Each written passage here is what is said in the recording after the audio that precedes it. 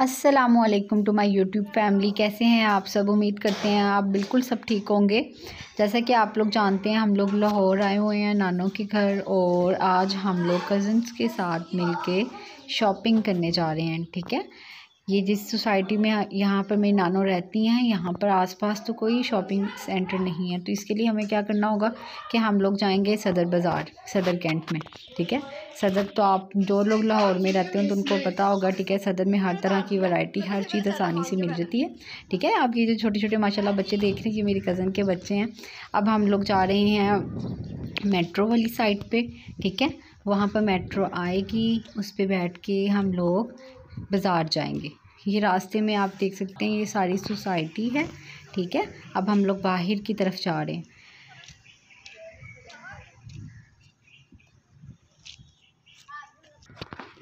बच्चों के साथ चलना बहुत मुश्किल होता है, ठीक है? मैं, वैसे तो मेरी स्पीड बहुत ज़्यादा है, लेकिन साथ मेरे कज़न के बच्चे भी हैं, ठीक है? तो जिसकी वजह से वो बेटा माशाल्लाह वो खुद चलता तो है, लेकिन आहिस्ता चलता है, जिसकी वजह से बहुत आहिस्ता आहिस्ता साथ साथ चलना पड़ता है। अब हम लोग यहाँ से जो है ना क्रॉस करके दूसरी साइड पे जाएँगे, ठीक है?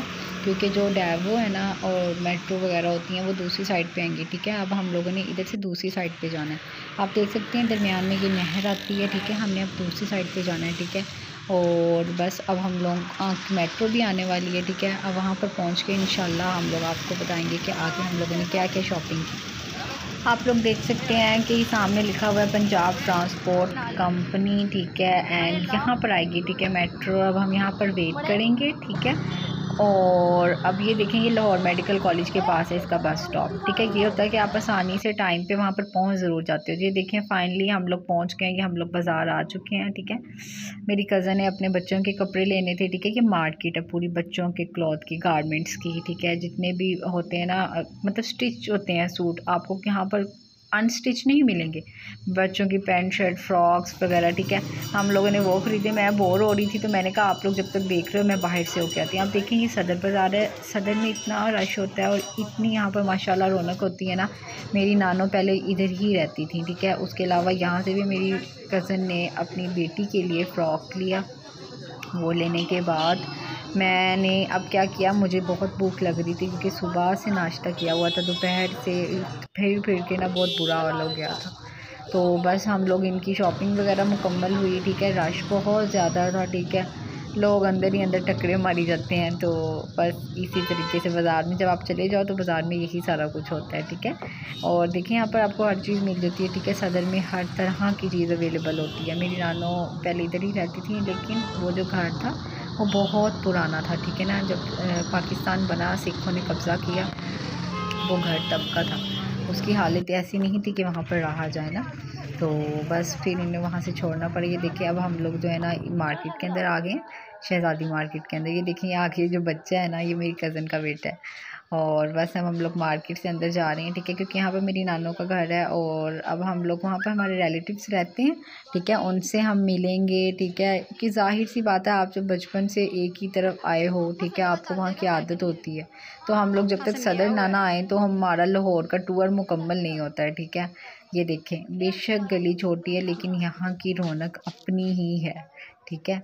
और ये देखें जी हम लोगों ने यहाँ से कुछ और भी चीज़ें लेनी थी और कुछ लेनी थी ये ज्वेलरी वगैरह चीज़ें यूज़ करने के लिए लेनी थी ठीक है? मेरी कज़न ने अपनी ईयर पायरिसिंग करवानी थी उसने अपने कान बनवाए और उसके अलावा मैंने भी अपने कान बनवाए। एंडिंग्स अच्छी तो थी लेकिन साइज़ मोस्टली इशू होता है मेरा साइज़ नहीं मुझे मिल रहा था। जो अच्छी लग रही थी या तो उसका साइज़ बहुत भरा होता था ठीक है? अब ये देखें जी हम लोग यहाँ पर कान बनवाने के लिए आए हैं तो ये अंकल अब मेरी कज़न के बना रहे हैं और अब जब वो बनवा लेगी दैन फिर मैं बनवाऊँगी। ये अब ये देखें ये सारी मार्केट है। ये आप जो सामने घर देख रहे हैं ना, ये मेरी नानू यहाँ पर रहती थी।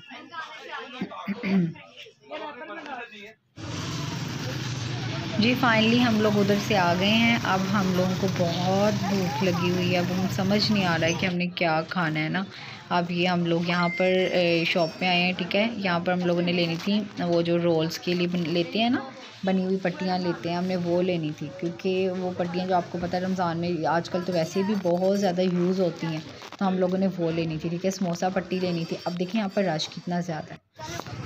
मेरी कज़न पैसे गिन रही अच्छा ये अब हम लोग आके यहाँ पर, जब भी हम सदर आते हैं ना, हमारा कि हमें यहाँ पर आके ना एक चीज़ समोसियाँ होती हैं। उसके अंदर उन्होंने चीज़ फिल की होती। है क्या ही बात है उसकी। वाह, मेरे मुँह में सुनते ही पानी आ जाता है। वो हम लोगों ने खाई, ठीक है? अब उसके अलावा आप देखें, सदर में सबसे मशहूर जो स्वीट बेकरी है ना, वो है कसूर स्वीट ठीक है?